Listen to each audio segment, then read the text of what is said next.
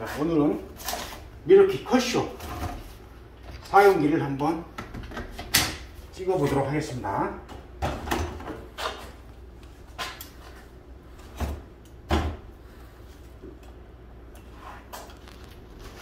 자, 문틀 문 와프 제거 작업을 진행하겠습니다.